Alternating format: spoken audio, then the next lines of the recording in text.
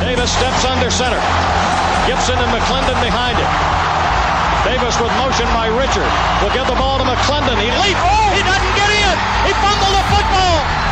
Carolina holds. The game is over.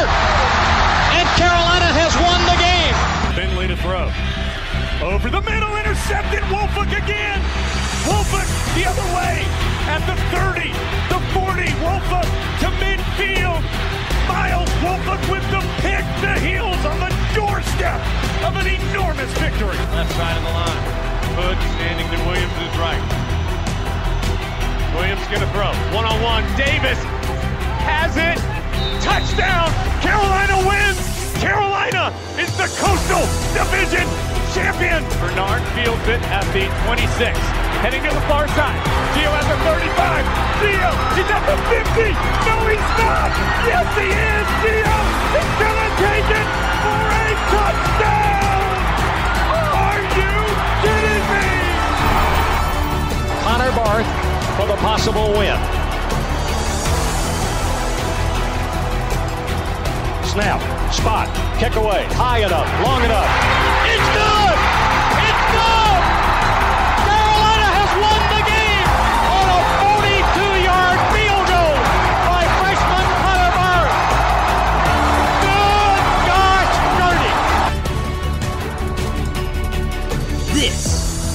Heel Tough Blog Podcast. Big Heads Media Podcast. Hey guys, and welcome to this edition of the Heel Tough Blog Podcast. Coming to you on a Tuesday after one of the most exciting wins, maybe in program history, because it came after or it came during a rivalry game and after a game against Virginia Tech where the Tar Heels could have won one of the more exciting games in uh, their program's history, but weren't able to get it done. Um, we were there. We were in the stadium. Uh, we this we, we were going to try to podcast on the way home, but um, as you can probably tell through just the first couple of minutes, I am sick.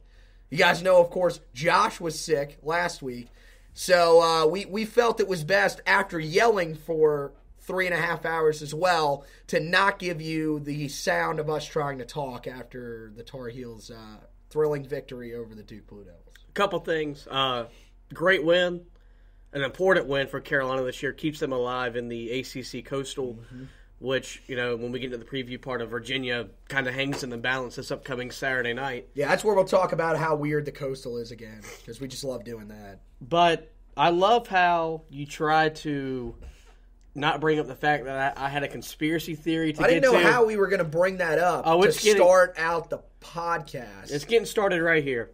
It's very simple. I like how you're just you- you're just cutting off this game here. Yeah, very simple. Uh, last time we recorded was two weeks ago, where I was in person. Yeah, and you had a we had a listener uh, tweet you saying that I deserve more time on air. did you finally find this tweet? I no, you showed it to me, but Ah, I never took the time to go back and find the guy to personally thank him. So, hey, thank you. But it was kind of weird. You Bobby Casey's his name. you uh you opened up the microphone for me that day, and on my way home, I could feel a scratch in my throat. So therefore, I think since somebody told you I should talk more, you poisoned me, you got me sick. I've now been sick for ten days. There it is. I've missed work. I've missed my internship. Oh, you dare? I couldn't You are write- spot on. Right Couldn't now. write the uh, trench report for last week's game against Virginia Tech. I blame all of this sickness on you, Yeah. and now that it has passed on to you, I hope it kicks your ass as much as it has kicked mine. Oh, So that is my conspiracy theory. I believe I'm correct. oh, I, now- I believe you're correct too. That is exactly what happened. It's exactly you know what exactly what happened. You figured it out. Um, yeah, spot on. Good, good, good job piecing that one together. So now my analysis from the Duke win. Way to go, Scooby Doo. You did well. It uh, it was a weird game. I thought the environment felt weird. The crowd was It was a full. good. It was a good environment, but you you mentioned it like in the middle of the game. Like there were times where like you could have heard a pin drop in Yeah, the stadium. It, it was, was- very strange, It was very very quiet. uneasy, very It felt- uneasy. It felt kind of like what it was, which was Carolina's season depending on if you win the game, you put yourself in a position A to make a bowl game, which is kind of what we wanted Right, entering right, the year. right. And then B, if you can play for an ACC championship, you had to win Saturday. And it's kind of like you felt that all day. Was like if you lose, now the chances of making a bowl game aren't as great, and your chances of winning the Coastal are all, not that great either. And that's just kind of how it felt in the stadium. It didn't help that uh, Phil Longo had another mysterious game plan It was it. It, It was it better, was better. It was a lot was better in the second half for sure. still strange a lot of stuff that was called on Saturday, and that's just what it was. But Carolina made enough plays, especially defensively, for a depleted secondary. I thought they held up just fine, and the front seven caused as much havoc as they've had for any opponent, probably outside of Georgia Tech all year long, Or Cle- I would say Clemson. they Clemson, yeah, Clemson, to- they did a really good job. to a certain degree. And offensively, it was uh, never got into a rhythm in the passing game with Howell. A lot of that was you got to give a lot of credit to Duke's front. Their front four did a, did a good job against our offensive line. Kind of helped had uh, Howell uneven most of the day. But when they needed to make a play, whether it was him throwing or on the ground, they had the ability to make that one or two plays, and ultimately found a way to win twenty to seventeen. Large part thanks to Duke overthinking the situation at the goal line and throwing the jump pass, which Chaz Surratt, unbelievable play to recognize midair that that ball was getting thrown when he jumped, made a, a great play, and Carolina's four and four. The Victory Bell's back home in Chapel Hill, and the season's still out there in front of them. That's right. Yeah, no, I, I mean, I, I agree with everything you said right there. Uh, let's talk a little bit about that play because Chaz kind of said afterwards that Jay Bateman had told him to look for that play because Duke had actually run that same play a couple of years ago when they played Army, and they'd run it two other times. So, I mean, Jay uh, apparently told them right out, and this this led some fans. Uh, there there is a guy on social media that I will we, we will not mention his Twitter handle because he might be crucified by any Clemson fans that may for some reason be listening to this. There was one Tar Heel fan that felt there was enough confidence in the air after that play call by Jay Bateman to say he may be better than Brent Venables right now. Which I thought uh, a little over the line. Jay Bateman deserves a ton of credit, though, for realizing that that was a play that they had used before. They'd used it multiple times before. And that in, in a situation like that, they were likely to pull it out. Not only do you have to hand it to Surratt for making the interception, you got to hand it to DJ Ford, who was the guy that made the initial contact. Because most people, from where we were sitting in our seats, we thought, okay, if he carries the ball, you know, if he just keeps the ball, he's in the end zone for a touchdown. DJ Ford was right there, wrapped him up, would have dropped him.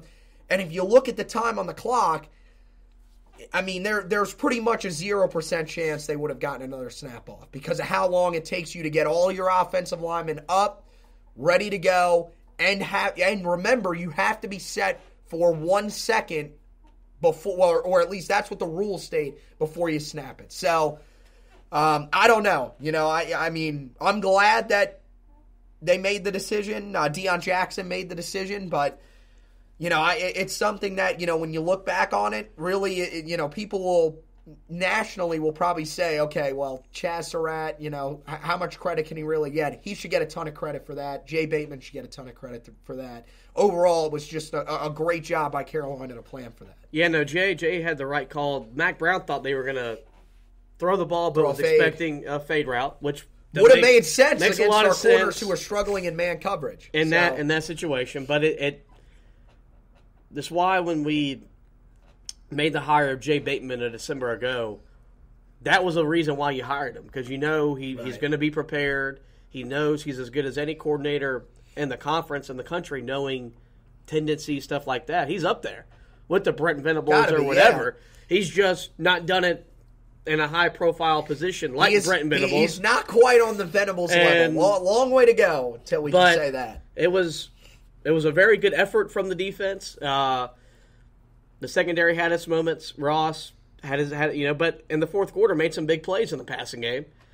Uh, just you know, the front four, Jason Strowbridge, man, up front. Amazing, amazing day. Surratt's going to be the one that everybody's going to remember in this game. But I mean, Strowbridge hard to argue with the numbers. Ten total tackles, um, which was second on the team on the day. Two and a half tackles for loss, and one and a half sacks. I mean, and you got to remember this is after he was slowed by an injury a week ago against Virginia Tech. We didn't know how healthy he was actually going to be coming into this game, and he comes out and puts up that performance. That's Yeah, it was just uh, amazing. really, you know, Carolina looked motivated, which was not a surprise. I was kind of worried about the psyche after the Virginia Tech loss in a game that you effectively blew it. Multiple times you had the Pretty game much. won, Yep. and you weren't you weren't tough enough to finish the game. They were tough enough on Saturday to finish, which is part of this team's journey. Was they, they they've got to learn how to manage success because they've won more this year than they've won the last two years, and now they're in a position going into November where every game matters. They're not used to that either. Right. And so it's learning how to handle all that and handling success and, and finishing games. And Saturday, they were they were damn close to blowing it again. Chaz Surratt saved the day, and it was kind of funny. We were, you know you, I, I expected Mack Brown to kind of come out and, and publicly challenge the coaching, like he did after we won games against South Carolina and Miami, because the coaching at times put them in a position to not succeed, mainly on the Yeah, offensive side of the ball. Decisions Um, still, and, and you know, look, they ran the ball 46 times Saturday. That's great. I think we still have a problem with the not not the passing plays. It's the time when they decide we're going to throw the ball. And on third and one, we're throwing 15, 20 yard routes instead of getting first down. Well, there, were, there was really only one of those that I can remember from the other day where they. It, it- yeah, you were right. It was like a third and it was like third and four, and they decided to throw a long ball, and I was like, I, I mean, I guess, um, I, I don't, I don't know, I, I, the one thing that I will say in defense of why Jay or Jay Bateman, why uh, Phil Longo may be doing that, is we've noticed since really the game against App State, has the middle of the field not kind of disappeared for our wide receivers? Maybe, okay, Georgia Tech, maybe a little bit. But really, these last two weeks in particular, I don't know if it was, you know, the bye week. Maybe you got two teams. I mean, look, Bud Foster is a fantastic defensive coach. Duke is, you know, they, they were highly ranked defensively coming in. They're clearly doing something right. It seems like these teams have done a great job of taking away the middle of the field where the Tar Heels were able to attack early in the season. That that just has not been there. Now, at times, a week ago against Virginia Tech, they were able to attack on the edge. That's where Dazz Newsome did a lot of his damage. And then we saw it on Saturday where when they did have to make key throws, they made them down the field. And, and look, you know, most people would say, well, those are low percentage throws. Not for Sam Howell. That's that's where he seems to thrive. But I, it just seems to me like the the middle of the field's not quite as open as it was early in the season. No, it's not, and that's something that Longo is. I guess we're still in the process of adjusting how to get a guy like Newsome the ball in the middle of the field because that's where he's the most electric.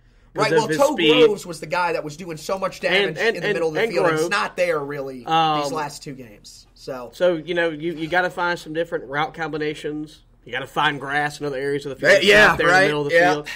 Uh, the deep passing game is it's there because you got a quarterback that can push the ball deep, which we haven't had since Mitch Trubisky.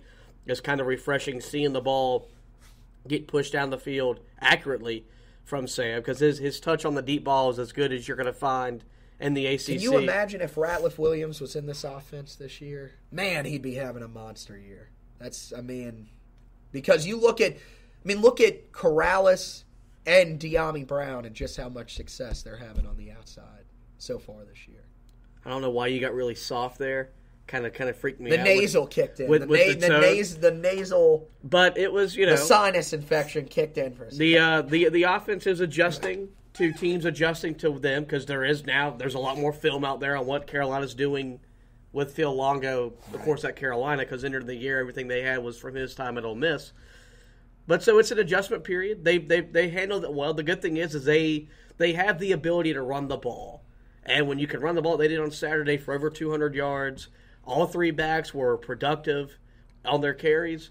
It's going to open up the passing game and the thing that you want to do in the air. Yeah, let's talk about the law, the law firm uh, really quick. Law law firm. There we go. Um, to me, I, like, look, you could take away that Javonte Williams is is a monster. We we knew that already coming in. You could take away that Michael Carter running harder this year, a little more successful. The biggest takeaway for me is that Antonio Williams is starting to sort of find a little bit of a role in this offense. And this this is what what I really like about what they've done over the last couple of weeks is they're starting to try to get him involved. And he's a guy that I mean, just from watching him last year and this year, he looks a lot quicker, but he still runs with an edge that allows him to break through tackles. I like the fact that they're starting to use him back there as well, and I think it's added even another dimension to this already great Tar Heel backfield. Yeah, well, it has. And if you think back to the early in the year, think about the wins over Miami, South Carolina. When Carolina went on game-winning drives, they were started with his running. It was it was him in the game getting Right. the ball, and he had Yeah. big runs in both games. He kind of we kind of got away from him for a little bit. I wonder. See, there was a rumor that, and and I think Jacob Turner might have said something last week about it. That he may have been dealing with an injury and just couldn't shake it, and they just they they didn't release it. It wasn't really public because he, he's the third guy on the depth chart. His role was sort of small, anyways. So you know they were they, he was still dressed and could be used if needed, but wasn't necessary. I think now you know, he, maybe he's back to being fully healthy, and he's he was extremely effective on Saturday. Yeah, he So- had five carries over fifty yards. Yeah. so that, that's that's that's damn good numbers As there. your number three back, yeah, I'll take that any Um, day of the week. That's awesome. And so, So- it, it does add a, a different element because in the fourth, mainly you see him a lot in the fourth quarter because he is a harder runner Right. than even Javonte. So your defense is going to be a little more tired. It's going to be harder to tackle a guy like him who's fresh. And I, I think Carolina's. I think they've now found a way how to use Javonte and Carter, how to get them involved in the game early. But then you you just kind of save Antonio Williams for the second half, and he's breaking off big runs because the defense is just too gassed to want to tackle.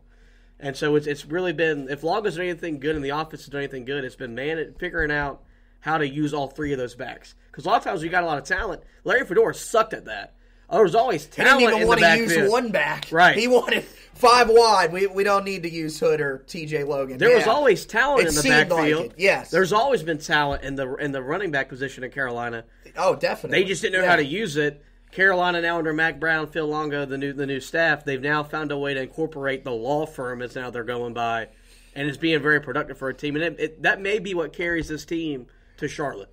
Yeah, no, I, I agree with that. Now I'm interested to see just how well they're able to run against a really good Virginia defense, but we'll talk about that here in a little while. We talked about one great story in this game, which was the performance of Chaz Surratt. We've got to talk about Noah Ruggles too, because this kid came in, kicks the game tying and then game winning field goals in this game. One from 35, one from 40 yards away. I mean, you know, I don't. I, there were probably fans that because they always they always find something to take issue with. There were probably fans that took issue with the fact that they didn't really give Jonathan Kim a chance. But you know, I, I get what Mack Brown was saying. He didn't look confident. We saw it. The 52 yard field goal was was not really close. But more concerning to me was his extra point attempt was a duck that creeped through as well. So he he didn't look confident. I thought he looked good on kickoffs, but they went back to Noah Ruggles, and this is a guy that, you know, look, uh, you know, you, you get a timeout call that people were really not happy with, and a lot of people were using that in defense of you. But you get benched for that. Maybe in your own mind, you could have gotten down on yourself, or even gotten down on the staff and said, you know what, I don't think I, you know, I, I yeah, I missed a few two field goals, but you know, the staff kind of kind of screwed me over on that. That wasn't the mindset that Noah Ruggles took. He was ready to go when he got called upon, and he came in and, and was fantastic for the Tar Heels on Saturday, hitting two of the biggest kicks that they've had maybe all season. There hasn't been a lot of things that Mack Brown has done that I disagreed with. That move didn't make a whole lot of sense to me. I know Ruggles hasn't been great, but he was going to be a lot better than whatever Kim was going to give you, and that was evident his first kick on Saturday. Um, but still, you got to give a lot of prop to Ruggles for staying mentally tough and prepared. and being ready for the position when he had to go back out there to make those kicks. Um, but yeah, I mean that that that's just probably when when that got announced. I don't know if, if you and I were hanging out when the, they announced the, the, the kicker decision. Just make any did not make any sense to me. I, I but in a way, this is why Mack Brown's a Hall of Famer. It was probably his best way of challenging Ruggles. Right. Was well, I'll bet you. And I mean, Max said it coming in, like, you know, we don't care if you were a starter last year, which Ruggles wasn't, but basically he was slated to be the starter this year. Yeah. But it doesn't, he said, look, it doesn't matter if you're expected to be a starter or you were a starter last year. You have to earn it. And, you know, what he had been telling people, and apparently he told the broadcast crew this before the game last Saturday at Virginia Tech, it had come down to pregame warmups every single week of who was going to be the starting kicker. And Ruggles just kept beating everybody out. He decided to go with Kim. Um, you know, I, I, I get why he made the move to go away from Ruggles because, I mean, you look, you're 4 of 10 from beyond 30 yards. You got to be a little more efficient than that. But uh, Jonathan Kim was a guy that was 12 of 19 from beyond 30 yards in his career at high school. I don't think that's really going to translate over to college. You're not going to get I mean, I don't know. I mean, look, he's been good on on kickoffs and I think he, you know, he could thrive in that role being the kickoff specialist. I thought he was fantastic with kickoffs on Saturday. But yeah, I don't know. It was it was very interesting. Um, the other thing is is like, you know, if if you wanted to bench Ruggles, who else could he have gone to? I, I don't really know because I don't know if Michael Rubino got injured, what happened, why he was removed from the kickoff specialist role. Um, his, you know, he, he kicked field goals at App State and wasn't really all that successful either. So I, I'm kind of with you. Um, I'm the guy that thinks they may end up having to ultimately offer a kicker in this class if, you know, Ruggles continues to struggle and they don't think that Kim or uh, well, Rubino will be gone, but if Kim or, or another guy that's on the roster is the long term solution, they might have to offer up one of the guys in state that's that's got a big leg and, and just try to secure that position because. I mean, look, Mack Brown said it all off season, and he's still saying it now, and he's right about it. I mean, special teams is, is probably the biggest concern on this team overall because on the defensive side of the football, it's it's really just how beat up you are that's that's really causing the biggest issues. Special teams, it's it's really more of a lack of talent, unfortunately. So, um, but yeah, I mean, let's look at the defense um, really quickly because uh, you, you, mentioned something when you first uh, gave your opening thoughts that that I wanted to talk about a little bit. You know, the front seven had a big day. Um, you, you, mentioned, uh, you know, Strowbridge, fantastic performance. I thought Aaron Crawford bounced back nicely after struggling a little bit uh, against Virginia Tech. Um, all three linebackers were fantastic. Surratt led the team in tackles again with 12. Got another sack, of course, because it wouldn't be a, a Chaz Surratt game without one. Um, and then, I mean, you look at Jeremiah Gemmel huge day. Uh, nine total tackles, one and a half tackles for loss, one and a half sacks, also a pass breakup. And then Dominique Ross, who may have had the best day of everybody, uh, six total tackles, one tackle for loss, one sack. And an interception, and he was a guy that you know we. I, I pointed this out to you probably middle of the second quarter. I said, "Look, Ross hasn't come off the field at all. Dominique Ross or or Greg Ross. Greg Ross played the whole game too. They are not running a nickel.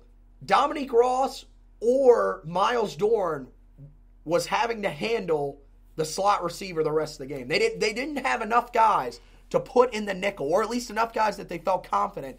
So you had your linebacker in Dominique Ross doing it. And I mean, look, he, he did about as well as you could have hoped for from a linebacker. I mean, he looked pretty good. And uh, I, am telling you, that was one of the main reasons I thought Carolina was able to hold on and win. And uh, you know, I mentioned the sack. Had to throw that in there. It was a strip sack too that was recovered by uh, Jason Strowbridge. So really, just a phenomenal game for the linebacking core, especially uh, Dominique Rowe. Yeah, he, he he was ready to go. Uh, was you know from the jump he was locked in, and he said that the extra there was extra motivation from being beat by Duke three times and in the way they had been beat. Yeah, you got to think you're a senior. So, yeah. You're you're on the verge of becoming the first four year class to not beat Duke it might have been in school history, or if not, in a, really a, a, very long time. Right. Um, really, just a lot of mental toughness, being able to, you know, being in a tough position to cover a slot guy because you don't do that normally, and he held his own. Um, it's just kind of it's kind of sad that, that that's how beat up Carolina is in the secondary, where it's just like, all right, we're gonna put a linebacker out there, and We ain't got no one in the else. You gotta, you gotta find a way. and it's, it's either one of those you're gonna you're gonna live or you're gonna die. Saturday, Saturday Carolina lived, lived. by yeah, doing he it. lived. Um, he did a good job. so can't speak enough about him. He was he was an animal, and and you could tell when he got the interception late, which we at the thought at the time kind of thought that was at the time really big play. You know, you could just tell when he ran off the field was really juiced up, and just it was the fun thing about seeing Carolina win on Saturday was seeing all those guys who hadn't beaten Duke. And that was everybody just about on the roster and not experienced us beating Duke. I beat them since 2015. Right.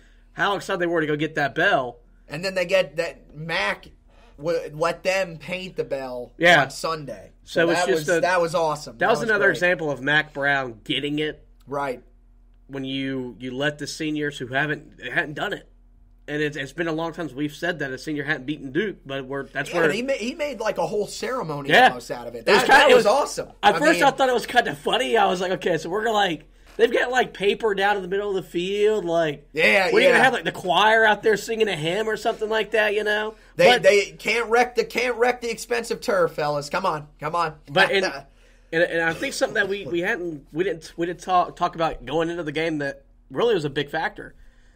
Mack Brown got the job and stressed beating in-state rivals. Entering the game yesterday, he was 0 2. Had beat we lost Yeah. to Wake Forest, lost to App, and was on the verge of uh, of maybe going 0 and 3. And and NC State the final week of the year is not going to be easy. right. So something that effectively cost Larry Fedora his job. Mack Brown, you know, was kind of hired hoping to restore the, the glory in the state. Hopefully Saturday was the first step of doing that. You get the victory back in Chapel Hill. Proved a nine and two all time against Dukes in his two stints as the coach of Carolina.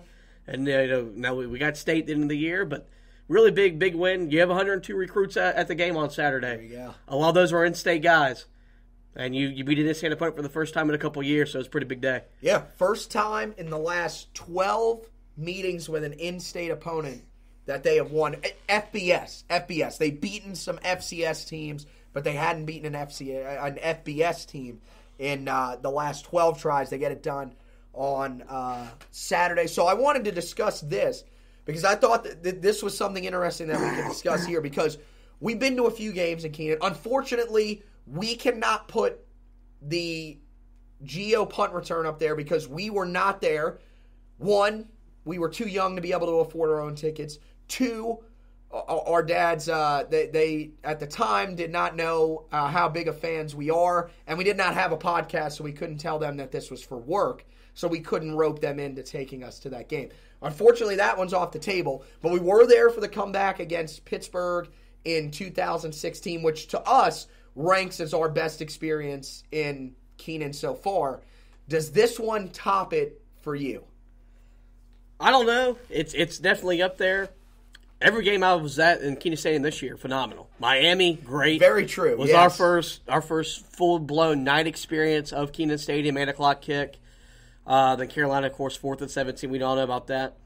Clemson, as tough as it was losing the game, we Ve- very weird feeling after a loss to walk We, out of there know, like, yeah, I feel really good. we walked in that game almost thirty point underdogs and outplayed the number one team in the time at the country. They, they literally after the game they had the Tar Heel chant going on after a one point loss. Yeah.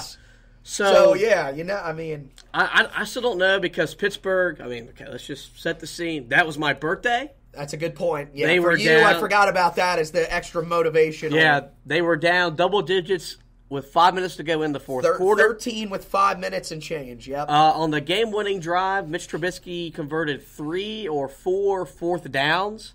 Like just thinking about all this, like the the win probability in that game at five minutes was very low, Ve- very low. and yes. even when they got Like the ball back, it was still very low. And then you get the touchdown with Bug in the end zone. I would still probably lean that, although Okay. this was fun for me because I finally got to see Carolina beat a rival. I was 0-4 all time. Yeah, you are horrible in Um, stadium against rivals. Never seen them beat State. I, Never you're seen still them beat not allowed Duke. to go to that game next year because the time you went and saw the basketball team play them in Chapel Hill, they scored 46 points and lost. Yeah. So it's you know that's so just part of it. No I- state for you. I finally got that monkey off my back. Kind of revival, kind of rivals with Dean Smith back in '82 when he first got this first title. Got the monkey off his back. We're kind of in the same boat there. Comparing national championships to a fan in the stands against Duke. That's But what it sure, is. You you draw whatever comparisons you want. But uh, yeah, I mean it's definitely up there. It was it was just it was a weird game, and I guess the best way to put it is Duke Carolina football. So it's going to be weird. Yeah, no, that's that's pretty accurate. By the way, had to point this out. I predicted two games scores right this year. Predicted 20 to 17 on the preview podcast for this. So yeah, no, I was I was when we were sitting in the stands at halftime and it's 7-3 and there were people behind us that were like this is just a weird game. I'm like, dude, this is this rivalry. It is it makes no sense. The teams just beat the crap out of each other. No matter how bad you're playing coming in, you're always going to find a way to stay competitive in this game. And it went down to the end. I, I'm going to go with this game just barely because it's a rivalry game. You hadn't won this rivalry in three tries. And the atmosphere in Kenan Stadium for this game was crazy. I mean, look, we thought, okay, after the Miami game, you know, we, we knew, okay, other games would be sold out, but we've seen it in, in the past. The environments aren't nearly as good as that first game of the year. The environments had, have stayed consistent the whole season, and they have been phenomenal throughout. So that's what made this one a little bit different for me. It's just how loud the crowd was, how involved they got, and you know, at, at the end of the day, to have a, a, as big a play a- made by a guy that is just a remarkable story that just continues to grow is amazing, and that's why I'll lean this one. But really, both of them fantastic games. Now, I, I'm I'm probably going to put a poll up about this, and I may I may receive some very vulgar messages about this.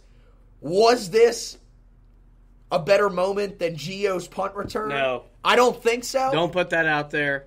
But here's here's the other thing that's interesting. If you put that out there, we're going to find out who the real rival is because wouldn't it, if if you think that Duke is the real rival for Carolina, wouldn't you think that beating your biggest rival with an interception in the end zone when they should have scored to beat you and potentially take you out of ACC coastal contention would be bigger than a win against State? Don't That's where I make the argument that State is more of your rival in football, and it's to me it's not really close. I, I'm going to be real honest with you. So that I mean I don't know. So don't put the no we we're not, don't put the poll out. That's a death wish. Okay, so we won't put the poll out then. We won't put the poll out. So we'll move on and uh, let's we're, we're gonna do this. We're, we're gonna combine this edition, unfortunately, because I'm going out of town. So unfortunately, I will not be able to do the preview for the podcast. The good news is I will be able to get back into Kenan Stadium in time for the game, so I will be there. Um, but we're, we're going to combine this episode and we'll move on and do the preview for the game against Virginia, which now becomes huge because Virginia lost on the road to Louisville. Carolina's win against Duke means both teams are now three and two in the ACC Coastal. They are atop the division, of course. Pittsburgh behind everyone at two and two, um, but uh, both teams, as of right now, if you combine the FPIs of both teams, uh, according to ESPN, they think that there's an 80% chance that this game will decide who wins the ACC Coastal. So this is this is pretty much it. Whoever wins this game, you are in the driver's seat, and unless you slip up a couple of times, you're probably going to hold on and win the ACC Coastal. So, I mean, look, th- this is probably the biggest meeting because look, we we've always said this. There are some older Carolina fans that really get into this matchup. This has not been an important matchup in a very long time. Th- This is probably the most important Carolina versus Virginia matchup since the 90s. Yeah, it's definitely the biggest game since Mack Brown was here the first time.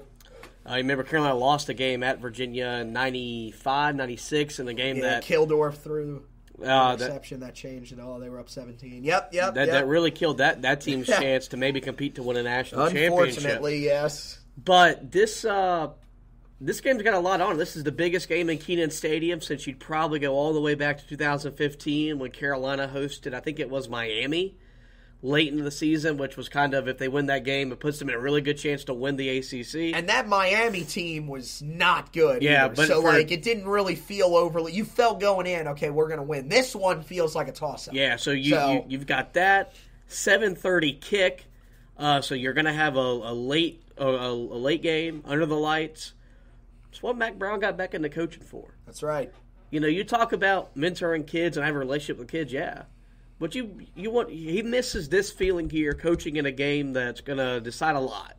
And it's it's it's why you get into college football. It's why we love it. It's for these kind of Saturday nights. Uh, something that we don't get to say a whole lot, but Carolina's avoided the noon kickoff. And yeah, this this is That's right. I I think whenever we envision big boy football, which is what I always refer to when you hire Mack Brown, this this is what you want. We didn't expect to get it this year. Year one, this wasn't an expectation to be competing for an ACC Coastal uh, title. But isn't it beautiful? The Um, ACC Coastal. The only one who went I thought that was was maybe me because I I was very optimistic as I always am in the preseason. But this is it. You you you know you you want to take the next step on the field, with something we've been talking about all year long, and you've taken steps. You beat Miami, you beat South Carolina, Right. you played Clemson, you went to Georgia Tech and kicked their ass. You should have won at Virginia Tech. Yeah. You want to take that next step, then you find a way to win Saturday night. It's not going to be easy. Virginia, Virginia is the coastal version of Wake Forest. They don't do anything great, but they are solid. They're not going to beat themselves. They're going to run the ball. Their defense is as good as a, a defense you're going to play in the coastal. Sam Howell's got to bounce back from his rough game against Duke and play a lot better to give Carolina a chance to win. And so it, it's going to be a, an interesting battle for the ACC Coastal and, and the South's oldest rivalry. Well, you you said it. They don't do anything spectacular. Now their defense, I, I don't know. I would maybe say their defense is pretty spectacular. You get what I'm saying, though. Like you know, they're not. They're very boring. They're they just- don't do anything that they're they are not exciting. Yeah, they're not exciting. They're. I mean, their They're basketball team. team doesn't do anything great. They just they win. They're not a team that you say, okay, I have to sit on the couch and watch Virginia play unless you're a, a Virginia fan. It just there's nothing there's nothing sexy about the way they play. They don't have that superstar that stands out. Some thought Bryce Perkins could be that guy. I mean, this year, I mean, look, he's been solid but not great. I mean, look, he's got nine touchdowns, eight interceptions. He's kind of, you know, he's a high end game manager, unfortunately. And that was, some people thought maybe he takes that next step, becomes a star in the ACC. He hasn't really done that. And that's the problem with Virginia. This is going to be a low scoring affair. You're Carolina's defense has to show up again. They have to show up two weeks in a row, which we, we've seen they, they've done at times this year. And they've got to do it again. They have got to be ready to go in this game because Virginia, they're only allowing 284 yards per game. That's it. I mean, that is ridiculously low for modern college football. I mean, it, again, it's not, I don't know where it ranks in the nation just yet. I'm willing to bet that's probably top 10, top 15. Um, I mean, it's not Wisconsin levels, although that's probably gone now that they got absolutely destroyed by Ohio State. But this is still a unit that is really, really good. The thing is, if you're Carolina, their offense really not that effective. When they've won games, though, they've put up points. Look at the game against Duke; they scored 48. You can't let them put points on the board.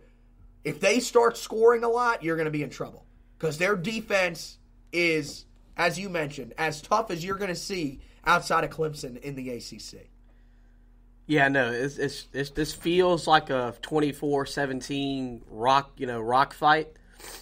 Luckily, Love Carolina. that term. Uh, wow, uh, what a classic! Yeah, Carolina proved Saturday they, they they could win that kind of game, which is something that we didn't quite know if this team could do because we've we've never seen it do it in our time Well, I mean, watching. South Carolina was kind of like that, but it was uh, it was the first game of the year, so I guess isn't isn't just about every first game unless you play an FCS opponent a rock fight. Like you're just trying to find a way to win it because everybody's still trying to get comfortable with everyone.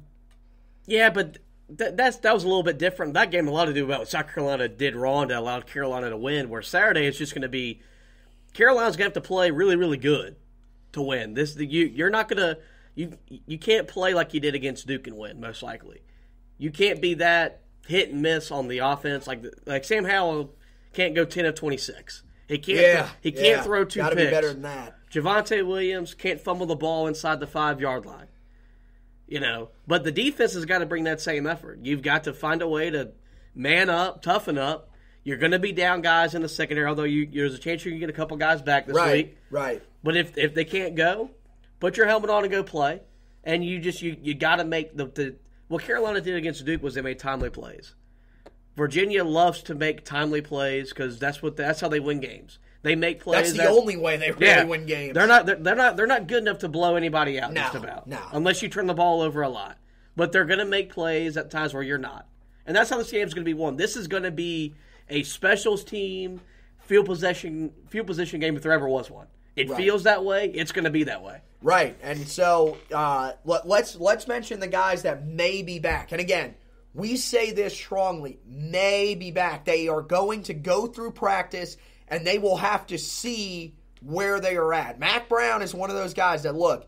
He is not going to put you out there unless he knows that you are 100% or at least somewhere near that. You you are not. He, he would rather go with a guy that's fully healthy and at least gives you a chance than have a guy that you're going to put back out there and potentially get re-injured. But what they're saying, Trey Morrison, uh, which is huge, kid broke his arm against Georgia Tech and is already practicing again. That's that's amazing. Myles Wolfolk, um, who you know has a foot injury that he's been dealing with. Uh, Nick Polino, same thing, had a foot injury. He had foot surgery, um, and he, he will reportedly be going through. It seems like out of the three of them, he's the least likely to play. Um, and then Jace Ruder, of course, the backup quarterback, which is some people might say, okay, well, how significant actually is that? We were kind of talking about it the other day with some of the fans that were behind us. If Jace Ruder's there, do they maybe open up Sam Howell a little more in terms of what they can do with the read option game? Because Sam, he, he, he does have the ability to run it if needed. I mean, he's a big bodied guy. I mean, he's, you know, 6'3, 225. He's not huge, but he's not a guy that's rail thin and, is, you know, is, is going to get hurt if he, runs through. I mean, he, he can get first downs if needed. And we saw that earlier in the year. So, I mean, that could be a little bit bigger than we initially thought. But, I mean, they're saying Myles Wolfolk is, you know, the, the guy that has the best chance of playing. Here's my thing: out of out of these, out of the three starters, which one of these three would be the biggest to get back? I, I know who I think, but who do you think? You probably lean Trey Morrison. I, I would go with Trey too, just because of how many guys are banged up at corner, Um, especially if Storm Duck can't go. yeah, and, and, and, and so yeah, Trey Trey's the easy answer. Myles Myles would be huge too, though, because that's a playmaker back there, and you know, as we've seen in games that they've lost, Perkins does make mistakes. So you never know; they they could bait him into that. But um, it, it'll be interesting to see wh- what Carolina is going to be able to roll out there. So let's do uh, let's do key to the game. Um, I know mine. You kind of talked about it a little bit. Virginia is so good at controlling field position and making those plays late when they need to. And you said the way that they score a lot of points is when you turn the football over. That's what Duke did against them. That's the reason they won as big as they did. That's Carolina has to avoid that. And look, it hasn't really been a concern all year, but it was a concern on Saturday. They turned the ball over three times. That's the first time that Howell has looked like a freshman. And look, this Virginia defense is really, really good. And they do the one thing that right now Carolina can't stop, which is pressure the quarterback. They cannot turn the football over on Saturday. They have to make sure they take care of it. And that is not only Sam, that is also our running backs. You got to be able to take care of the football, like you mentioned with Javonte Williams. I mean, he's, you know, right now leading the team in rushing. He's got two big fumbles on the year a big fumble against Wake Forest that allowed them to, to start scoring in that game and eventually was what prevented Carolina from coming back. And then the fumble on Saturday against Duke that to me kind of resembled the Virginia Tech game from a couple years ago and or the Virginia Tech game from last year and the Miami game from a couple years ago where guys fumble late in games and all of a sudden team drives down and wins the game. So they got to be able to prevent that because Virginia is one of those types of teams that can do that. So I think uh, that that's my biggest key. Hold on to the football, you'll be okay. Yeah, if you're going to take turnovers, I'm going to take uh, Carolina's got to win the kicking game and the field position game. They kind of go hand in hand with punting and in kickoffs. But that's we saw Carolina get backed up for three possessions on Saturday against Duke, where they're starting inside their 15. It's kind of hard to go. It's, it's so hard to march 80 something yards against the team. It's it's not easy, especially Virginia. yeah. And so I think they've got to be good with their special teams coverage when they kick off after after they score, and punting the ball. You, there's going to be a time where you're going to have to flip field position a couple times, and you got to be. Oh, able. Kiernan has got to he's got to have a good leg into it, be able to back that, that offense up, make them want to go 80 yards because they're not built to go 80 yards, and, and and that's a good way Carolina can find a way to to to win the game. It's going to be a, you know, whoever manages the, the stuff is going to win the game. All the all the all the all the small stuff you talk about, you know, who runs the ball, kicks the ball better, all you know, all those cliches you hear from coach speak. Well, it's November. All those things are now enhanced. It's like March in basketball where all the little all the little things become big. So now all the little small things that we kind of overlook in the modern era of football, well now they're going to come to light. And if Carolina can perform in those aspects, they got a good chance to win. And that's a good thing. Uh, because look, I mean, here, here's you know, we, we talked about how good the run game is. One thing that I did want to note is that Bryce Hall, the star corner for Virginia, he will not play in this game, so that could help Sam Howell just a little bit because as we've seen, that he's really struggled the last couple of weeks with these corners that have done such a good job staying with these receivers. So it'll be interesting to see how he attacks that. Also interested to see, um, you know, this is a team that's kind of similar to Duke in the fact that they have not run the ball well all year. Virginia's rushing attack is nowhere near what it's been the last few years. So that could help Carolina a little bit. We'll see uh, how they're able to take advantage of that. And again, very similar to Duke in the fact that they got a guy that can take off and run if needed. Bryce Perkins can use his legs. So we'll see how they're able to handle that. Um, guys that we'll, uh, we'll, we'll be talking about in the next podcast. Who do you think uh, stands out? You like to do the one offensive, one defensive. So yeah, offensively, uh, I think Sam Howell bounces back. It's kind of in his nature to, to come back. He's and, allowed to be selected this week. Other weeks he wasn't allowed to be selected because it was just too easy. Yeah, I'll give you that one. Uh, okay. So I, I think he bounces back, protects the ball a little bit better, and defensively. I mean, it's easy to go chat. I think Dominique Ross builds off his performance. Okay. Makes him a little more yeah, confident Surratt's player. Off limits. Can't say Surratt um, at this um, point. So I'll, you know, Howell. I normally go with him anyway because I just have a man crush on him. But I, I think Ross. Whoa. Really, I think Ross is really going to build off of what he did Saturday against Duke. Okay. Significant thing here: the admitted man crush on Howell. Is it as severe as my man crush for Trubisky? Don't think that's possible. No, because you still blow a guy who shouldn't be a Whoa. starter in the NFL. Um, well, that'll be cut out of the podcast. Hey, you just that's nothing, there's nothing wrong about that. That will be cut out of the podcast. So, so guys, you you don't know what he said right there, but oh well. Oh, if you're gonna cut it out, out, no, you're a kiss ass to Trubisky, a guy who's not worthy of being a starting quarterback in the NFL. Chase Daniel gives the Bears a much better chance to win. Yeah, he really did the one start that he actually made, and they lost. Oh, so, that game was yeah. rigged. There you go. Congratulations. They we wanted, can argue about that forever, but they, uh, they, wanted to build the Raiders brand look, over in London. We're, we're, definitely fans of Sam Howell. How can you not be? I mean, this kid is. I mean, look. Even, now I don't like him because you called him a kid. So now I'm stop. done. Even when this kid, this guy has a bad game. I mean, come on, dude. The guy still threw he completed 10 passes and still threw for 227 yards and two touchdowns. I'm just going to give you an update on the video game. He's thrown for 26 touchdowns in six games. How many interceptions has he thrown? He's, I haven't taken care of the football. He's though. thrown eight, and he's on pace to throw for over 5,000 yards. There you go. That's a fi- that that's a that's a video game which we'll actually get back to here in just a little while when we go through uh, the 40 yard dash. So I'll, I'll, give you my guys.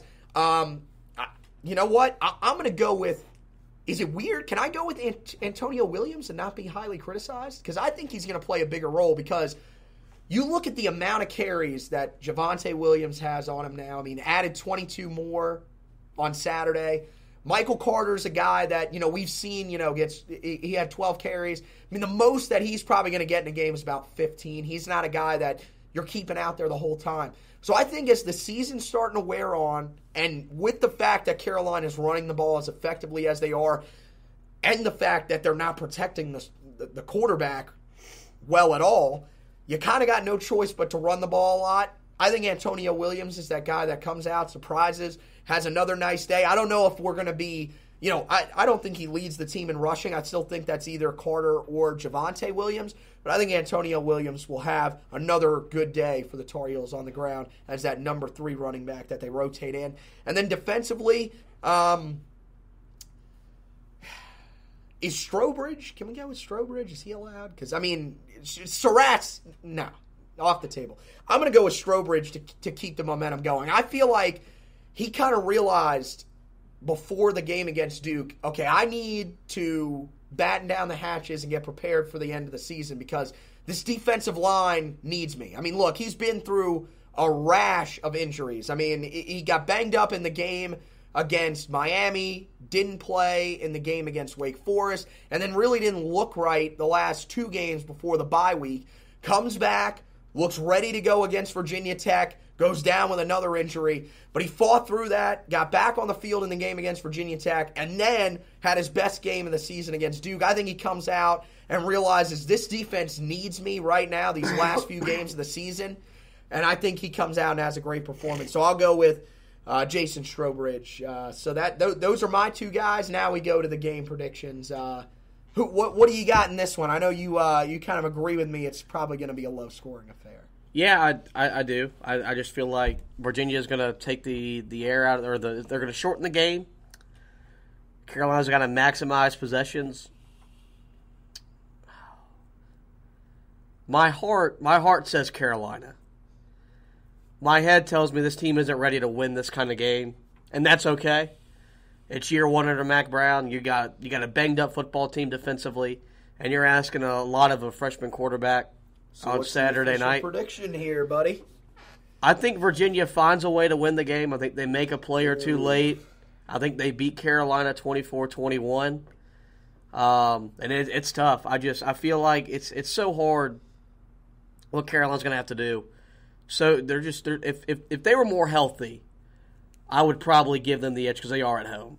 And I think this is a game that if Carolina's going to win, the crowd has got to be a factor, and it will be. I think you they for those that are in the stadium, get your ass in your seat at seven o'clock and be ready to yell for three hours. The team is going to need it. It's made a difference this year when they've won the two the, the games they've won at home. They're going to need you again Saturday night. I just feel like I trust Virginia a little bit more. And this is a game that I feel like you, you, you, you've got to trust a team or two, or, or the team to make a t- uh, play or two. I'm going to trust Virginia. We've seen them do it more recently and more often than we've seen Carolina. I'm just concerned with Virginia on the road, period, right now, because their their their two losses in conference have come on the road at Miami and on the road at Louisville. Are any are, are either of those teams better than Carolina? You could debate with Louisville. Miami is not better than Carolina because we, we beat them earlier in the year. I think that's going off head to head matchup. That's how you decided. You can debate between Louisville and Carolina, but right now, it's just something about Virginia on the road. They do not look like the same team that we saw early in the season. And I mean, look, they, they maybe that's also a product of the fact that they don't play the toughest out of conference schedule. And maybe that's something that Bronco Mendenhall down the line will do to get his team more battle tested, to make them into a team that people can feel really confident about. Because remember, Virginia was my pick to win the Coastal in the in the preseason. But what was one of my bold predictions? That Carolina would upset Virginia in this game. I'm going to stick with that. Um, I like, you know, with, with, you know what's going in Carolina's favor with Virginia's struggles on the road. The fact that Virginia really isn't running the football that well. Perkins really isn't playing the way he, you know, many thought he would. All that stuff helps Carolina. And yeah, this makes it sound like I'm telling you they're going to blow them out of the water. I think if Virginia was moving the way that we thought they would at this point, this game could be a, a really long game for Carolina because there were team people that thought – this team could give e- even Clemson a little bit of trouble when they got to Charlotte if they were move if they were playing the way that they thought they could play. They're not. I'm going to go with Carolina in a close one because I think you brought up a good point about the environment. It's been there all year. it's definitely going to be there on Saturday night because everything that I've seen on social media is pretty much saying this is the biggest game in Kenan Stadium since the 90s. So, I mean, I, I just feel like the environment's going to be there. Carolina is a team that has we they have looked so much better at home than they've looked on the road.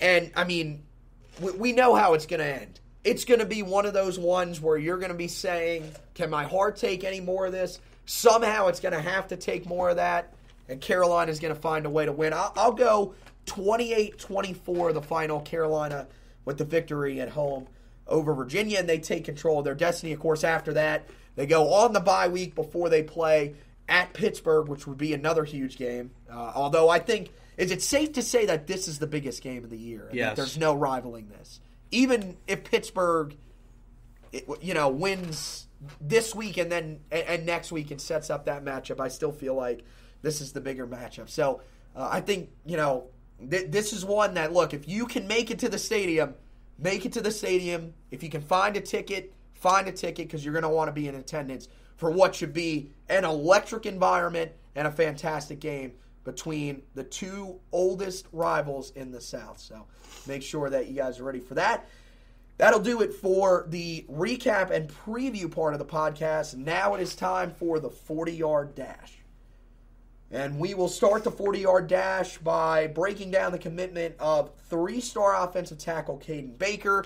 Comes out of Fort Myers High School in Fort Myers, Florida, the number 99 offensive tackle in the class. Um, a guy that look really is is it, it, probably a project, um, but look athletic. He's a guy that's played basketball. Um, still has pretty good size at 6'7", 275, but he's a guy that you're going to be able to pull block with, which we've seen Carolina likes to do that a lot with their offensive tackles. They want guys that can be athletic enough to get all the way from left tackle into that right side D gap, like Charlie Heck, like Jordan Tucker. And I think that Caden Baker has that potential. This is a guy that has a lot of upside, but it's probably going to take him some time when he gets on campus. So he's an interesting prospect to keep an eye on. And the most important thing with his commitment, it adds depth at the offensive tackle spot where the Tar Heels were in need of some. Jacoby Criswell committed, or excuse me, tweeted after uh, Caden Baker's commitment that you're going to like the next two commitments that are coming, then corrected himself and said three. This has put off some wild speculation. Again, nothing is really confirmed. Most would think he is referring to the fact um, that Trenton Simpson's commitment has been reopened. Again, Simpson visited Clemson this weekend, but to this point, Clemson has not offered him. Now, the belief is is that if Clemson does offer him, that is his dream school. He will immediately pop to Clemson and his recruitment would be over. But they haven't offered him right now. There's no signs that they are going to offer him right now. Some think that because they are all in on Justin Flowe, who is a linebacker, a five star linebacker from California, that they might not end up offering Simpson. But if USC is able to beat out Clemson, you never really know. So who, who knows? We'll have to wait and see whether or not um, he ends up getting an offer from them. Um, it could also reference some of the other significant guys that were on campus. Octavius Oxendine, the three star defensive tackle out of North Hardin High School, um, out of the state of Kentucky, Radcliffeville, Kentucky. Um, he had a great official visit, said that Carolina is one of his top schools. One of the guys that kind of snuck under the radar and had his official visit on Saturday is four star wide receiver Xavier Capers. He comes out of Denmark High School in Alpharetta, Georgia. Um, he's a guy that is very highly touted, uh, rated as uh, one of the top 120 players in the country, one of the top wide receivers in the class, too. And the reason that he said he is very interested in Carolina is not only what the coaching staff was able to show him on Saturday, but also the fact that he could play with Sam Howell. That's really playing into him. Also, Jacoby Criswell is a guy that's kind of working with him as well. So that could be really interesting to keep an eye on. Of course, there were some other big visitors on campus as well. Uh, Jahvaree Ritzie, the 2021 four star defensive end, was on campus again. Peyton Page, the 2021 five star defensive tackle, was on campus. Most of your normal guys were on campus. And as Josh mentioned, 102 recruits in total on campus. So Mack Brown continues to bring in these huge numbers and continues to make impressions on a lot of the in state guys who have been on campus a ton so far this season. And the last thing that we'll tell you on this edition of the Heel Tough Blog podcast.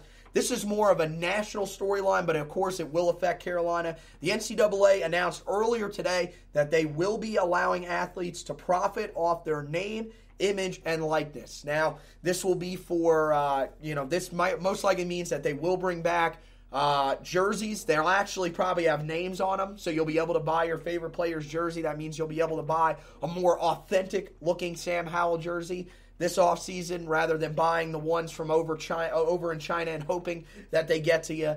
Um, but uh, that's that's huge news, uh, and the, of course, one of the biggest things that everybody's talking about right now on social media. That also most likely means the return of NCAA football, the video game. So uh, we we will be excited about that. Of course, we'll be talking about that on here if that does come back out because uh, you know that we'll we'll, we'll definitely be uh, getting that. We were talking earlier. We will probably have to purchase the newest system to be up to date on everything. Unfortunately, coming from a guy in me who hasn't played video games in well, probably about two or three years on a consistent basis, but college football comes back out. Uh, I will probably be fully back into uh, video games. Uh, definitely the college football video game. So that does it for this edition of the Heel Tough Blog podcast. Of course, we will have the recap edition of the podcast next week. I think uh, we'll go back to the regular schedule next week where we will separate. We'll do a recap for the Virginia game. Um, and then, uh, actually, no, yeah, we'll have to do just a recap for the Virginia game because then we have the bye week. Um, we'll, we will have a bye week edition of the podcast. Um, you know, depending on you know what the Tar Heels do in the game against Virginia most likely it'll be just kind of what's the road to the ACC championship game. Maybe a look forward at some of the bowl games that we could possibly be in. Um, if they do end up going down to Virginia, um, not you know might still kind of discuss some things, but we'll have something in store for you guys and ready to go for the bye week. So uh, it should be a very exciting time as Carolina. Um, is still still hanging around. There were some people that thought after that Virginia Tech game they were dead and gone, but this team is, is just, you know, look, it's just like every game that they've been in this season. When they look like they're out of it, they're never truly out of it. They're going to continue to fight and fight, uh, find a way to get themselves back into contention. So uh, we want to uh, encourage you guys to uh, subscribe to the podcast. Make sure you go and subscribe on uh, iTunes, uh, their podcast app, Google Podcast, iHeartRadio, Spreaker. It's on there. You can subscribe to it as well if you want to go to uh, the regular site that we uh, post through, the main site, um, as well as, of course, you can go on heeltoughblog.com and check it out there. Uh, make sure that you subscribe to the newsletter on heeltoughblog.com so that you don't miss any of the great articles. We got articles up right now. Uh, the latest two that were posted were the two scouting reports on Cedric Gray and Myles Murphy, so you guys can check those out. Um, as well as uh, we got some great stuff on there about Caden Baker's commitment. You can go back and read what we learned from the game against Duke, and then later tonight I am going to get the stock report up for you guys. So make sure that you check all that out. Also, we've got uh, plenty of basketball stuff on there. You can go back and read about Caleb Love's commitment as well as RJ Davis's commitment. And then, of course, uh, there's some other good things on there. Read about the three players that will be out to start the season um, and what kind of effect that'll have for the Tar Heels, as well as uh, a couple of uh, preseason awards that were handed out. Read about those if you hadn't uh, read about Cole Anthony getting uh, on a couple of watch lists, as well as Garrison Brooks landing some preseason honors. So, once again, want to thank Josh for fighting through this podcast. Want to thank you guys for listening. And as always, go Tar Heels.